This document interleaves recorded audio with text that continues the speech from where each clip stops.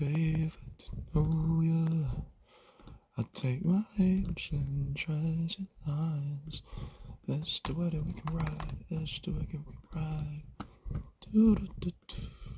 Selam Zeybonlarım kanalımıza hoş geldin. Son zamanlarda Arem saçlarını çok kestirdi. Yakında askere mi gidiyor Jelibon soruları geliyordu.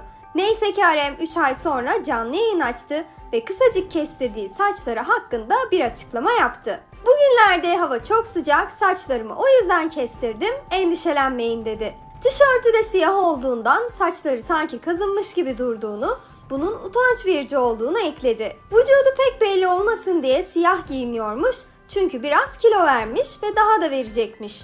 Üstüne spor yaptığını da düşünürsek sanırım kasları gözükmesin istedi. J-Hope'la aynı zamanda askere gidecekti ama müzik çalışmaları için ara vermişti. Görünen o ki bu askere gitme sürecini yine ertelemiş. Çünkü tekrar müzik üzerine çalışıyormuş. Indigo'nun 180 derece zıttı bir albümle gelmeyi planlıyormuş.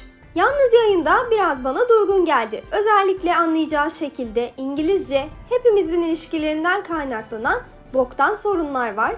Aynı zamanda bu bok her seferinde yaşanıyor, hayat bu demesi, bu konuşmayı yaparken de elleriyle oynayan vücut dili liderimin biraz üzüldüğünü düşündürdü. Tabii bize felsefi derinlikleri olan harika şarkı sözleri olarak geri dönecek o ayrı. Sizlerin de konuya dair görüş ve düşüncelerinizi merak ediyorum. Hepinizi morluyorum. BTS'le kalın.